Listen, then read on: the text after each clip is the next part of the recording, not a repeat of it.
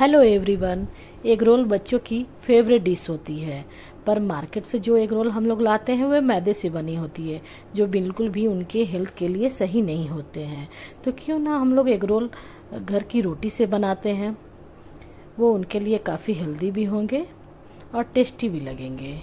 तो चलिए देखते हैं इसे कैसे बनाते हैं। सबसे पहले हम लोगों को कुछ रोटी सेक लेनी है। रोटी बची हो तो उससे भी आप बना सकते हैं। वो आसानी से रोटी ख़त्म भी हो जाएगी और एग रोल टेस्टी लगेंगे, बच्चे खा भी लेंगे। तो उसके लिए सबसे पहले तवे को करते हैं गर्म और उसमें थोड़ा ऑयल डालते हैं। ऑयल को अच्छे से पूरे तवे पर फैला ले ताकि एग रोल हमारे इसमें चिपके ना। फिर इसमें एक चपाती डालते हैं। चपाती के ऊपर हम एक अंडे को फोड़ कर डालेंगे। अब अंडे के ऊपर हमें डालना है हल्का सा नमक और थोड़ा काली मिर्च पाउडर। सभी को अच्छे से मिक्स कर ले, पूरे रोटी पर इसे फैला ले। रोटी के बाहर भी कोशिश करें कि रोटी के बाहर भी थोड़ा फैला ले। इससे एग रोल देखने में काफ़ी अच्छे लगते हैं, पूरे अंडे से भरपूर लगते हैं। बहुत ज़्यादा इसे नहीं पकाना है, तुरंत ही हमें इसे पलट देना है। पलटते समय सावधानी रखें। धीरे से इसे पलट दीजिए। और इस साइड भी बहुत हल्का ही पकाना है। थोड़ा सा पकान, पकाना है, ज़्यादा नहीं पकाना है इसे। बस, ये ग्रोल हमारे अच्छे से दोनों साइड सीख गए हैं। अब इसकी इसको बाहर निकल कर इसमें थोड़ा सॉस डालते हैं। सॉस को अच्छे से आप फैला लें। मैंने यहाँ पर टोमेटो केचप डाला है।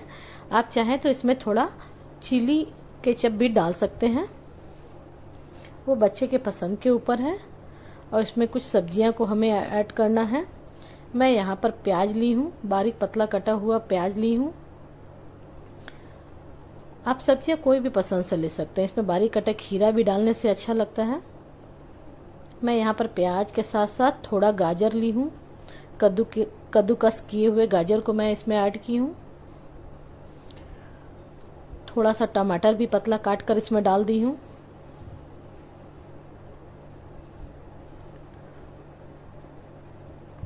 फिर हल्का इसमें नींबू का रस हमें मिलाना है, जिससे इसका स्वाद और भी अच्छा हो जाएगा।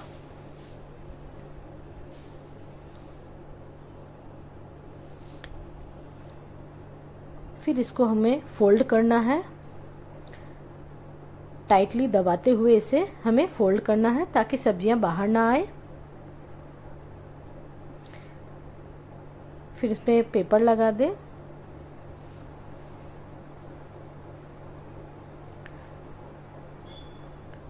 ये हमारे एग रोल बिल्कुल तैयार हैं खाने के लिए।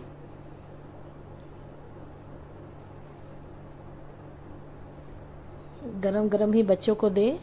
ये बच्चे बहुत पसंद से खाते हैं। इसी तरह बाकी के एग रोल भी आप सब्ज़ियाँ डालकर टाइटली फोल्ड कर लीजिए।